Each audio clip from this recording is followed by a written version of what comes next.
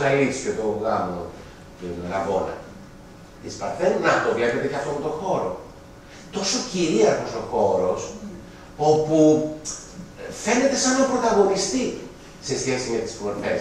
Κεντρική συμμετρία, εξαιρετικά κόμψος, Ραφαήλ, εξαιρετικά κομψός τρόπος με τον οποίο οργανώνεται η σύνθεση. Προσέξτε δηλαδή ότι έχω την κεντρική μορφή του ιερέα και τις δύο άλλες σημαντικές μορφές, του Ιωσήφ και της Μαρίας. Κοιτάξτε τις μικρές αποστάσεις ανάμεσά τους. Δείτε ότι οι δευτερεύουσες μορφές είναι δευτερεύουσες διότι βρίσκονται λίγο πιο πίσω και είναι γκρουπαρισμένες ε, σε ομάδα ενώ οι πρωτεύουσες μορφές έχουν ένα κενό ανάμεσά τους έτσι ώστε να προβάλλονται. Υπάρχουν δηλαδή όλα αυτά τα στοιχεία ιεράρχησης τα οποία λέγαμε πριν. Το ιεραρχεί και χρησιμοποιεί τα εικαστικά μέσα, την προοπτική, τη σύνθεση, την τοποθέτηση, ακριβώς για να τονίσει αυτή την ιεράρχηση. Σε αντίθεση με το ίδιο θέμα στο Γαλίτσιο του Ρώσου Φιωρεντίνο που είπαμε την άλλη φορά, το οποίο χρησιμοποιεί μία σύνθεση πολύ πιο πυκνή και πολύ πιο εξαρτρωμένη. Βέβαια, ε, ποιος σας αρέσει πιο πολύ, το δεξί γιατί;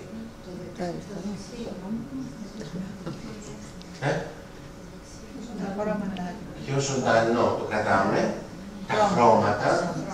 Πολύ ωραία τα χρώματα. Τι άλλο; Έχει κίνηση, ωραία, κρατάμε στα τρία. Δεν σας ενοχλεί η εξάνθρωση του χώρου και η ασάφεια του γεγονότος; Όχι. Γιατί είμαστε άνθρωποι της μοντέρνης εποχής και έχουμε κατανοήσει ότι τα στοιχεία ενός έργου τέχνης μπορεί να διατηρούν την αυτονομία του.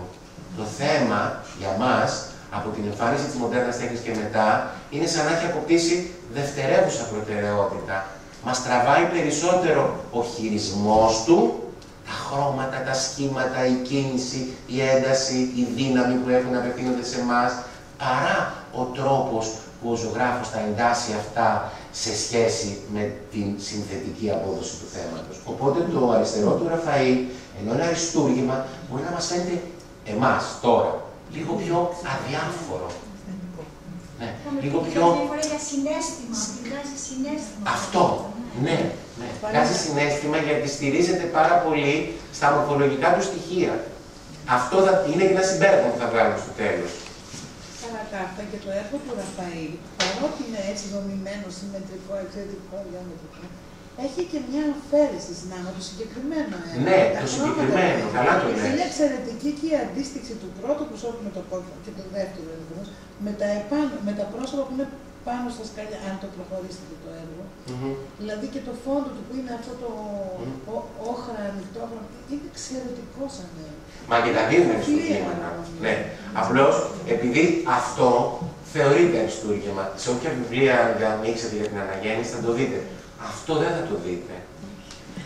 Και σαν ζωγράφο Ρώσο Φιωρεντίνο, δεν σας λέει όσα σας λέει Ραφαέλο, και προσπαθούμε να δούμε ότι τελικά και το δεξί έχει κάποιες αξίες που θα τις στοιχειοθετήσουμε στη συνέχεια. Ακόμα πιο κοντινό πλάνο για να δούμε κυρίως τη διαφοροποίηση των τόνων. Βλέπετε πόσο πιο οργανικά αποδίδεται αυτό. Αυτό έχει ανατομία. Αυτό δεν έχει ανατομία. Κάπου χάνεται. Κοιτάξτε το ένδυμα της Παναγίας, το μαφόριο με το μπλε και το κόκκινο, πώς πέφτει πάνω στο σώμα της και πώς μετά διπλώνει γύρω και περιελίσσεται και το αγκαλιάζει. Ενώ εδώ κοιτάξτε ότι θα μπορούσε να συμβεί αυτό που συμβαίνει και στα έργα του Γκρέκο.